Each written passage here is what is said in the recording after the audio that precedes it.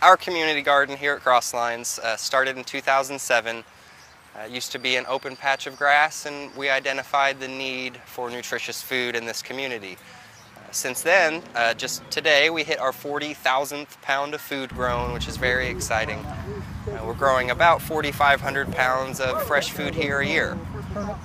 Why that's such a need is this area of Armourdale doesn't have a single grocery store. There is nowhere for families and individuals to get healthy food.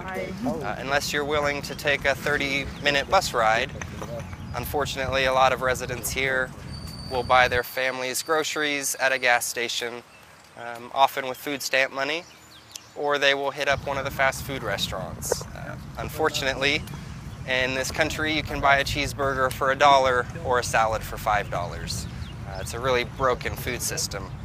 And what's that, that has led to really poor nutrition in this area. Um, childhood obesity rates have spiked dramatically.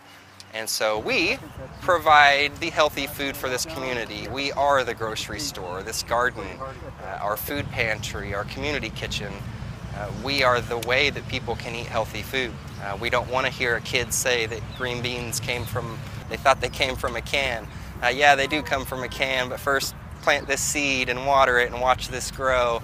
Uh, when you can get a kid interested in gardening, uh, hopefully they'll garden the rest of their lives.